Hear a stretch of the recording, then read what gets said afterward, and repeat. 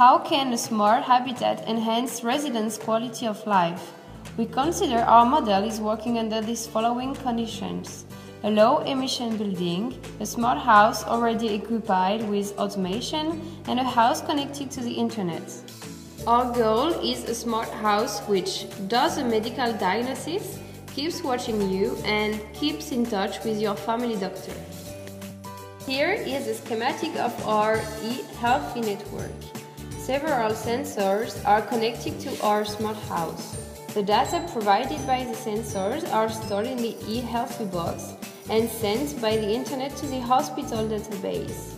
A comparison is made and function of the gravity, a message is sent to the doctor. The doctor will take the medical decision. Our local area network is made by Powerline Communication Protocol for its safety, low price and its ease to use. In all the house, there are sensors which are able to measure some elements such as radon gas, carbon monoxide or humidity rate. Many sensors are integrated to the bathroom.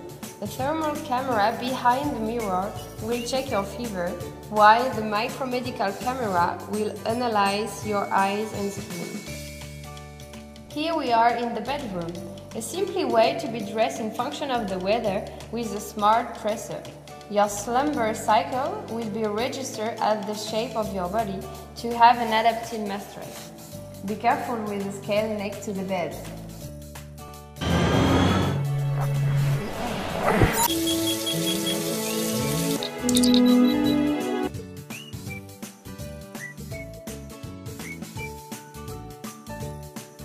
Let's move on to the kitchen. The smart refrigerator will compose for you a receipt with food inside, which will be simple because every product is marked with RFID chip.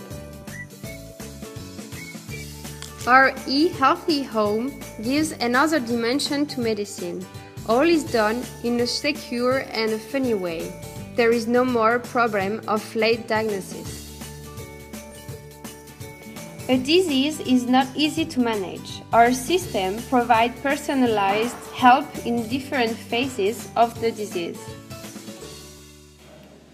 E Healthy Home for better life because you are worth it.